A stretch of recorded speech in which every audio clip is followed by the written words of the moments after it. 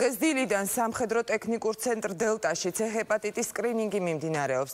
C ჰეპატიტის ელიმინაციის სახელმწიფო პროგრამის მხარდასაჭერად ჯანმრთელობის კვლევის კავშირი და კლინიკა ნეოლაბი ვირუსზე უფასო სკრინინგს ცენტრის 1000-ზე მეტ თანამშრომელს უტარებენ.